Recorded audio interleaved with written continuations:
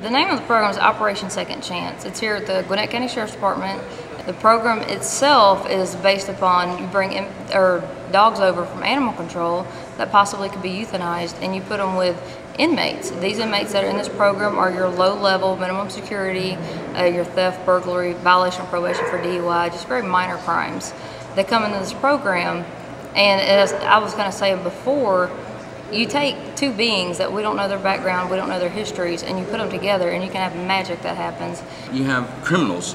We're in here. We're, we always we. It's very typical to criminals, people incarcerated, let's say, to look at the officers as a kind of a us against them type thing. Then you get a program where we're cooperatives, working together for the good of these dogs. So now, now we're partners with the officers in a, in a sense we gain a different type of relationship. We gain a respect and a, a love almost because you know we love what they're doing and they love what we're doing and and it, it kind of instills a, a, a, different view of the situation in us if we grasp it, if we choose to grasp it that way. Operation Second Chance has it's been about for two years now. We actually just celebrated our two-year anniversary. The um, we've adopted 97 dogs to date. We've saved 113. We've got groups of guys brought together who would normally never even say two words to each other.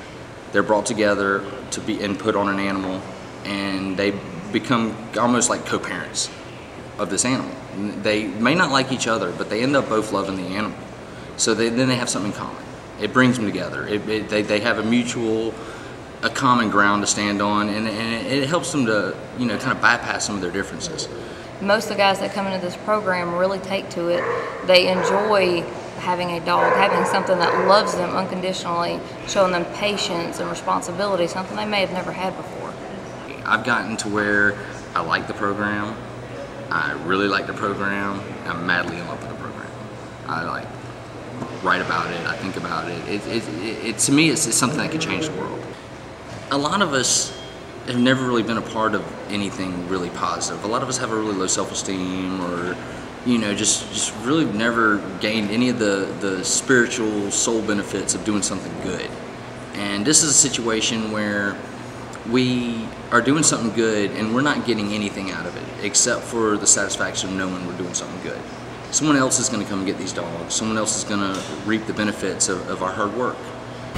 You know, this may be the first time that an inmate's really been responsible for a living thing, mm -hmm. for taking care of something. Yeah it teaches them responsibility and teaches them that they can give, not always take.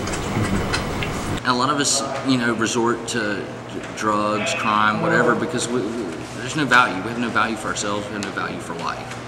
Then we end up, we find ourselves in a situation like this, a program like this, where we're taught values. We're taught that there's a value to hard work that doesn't give us anything that we can hold.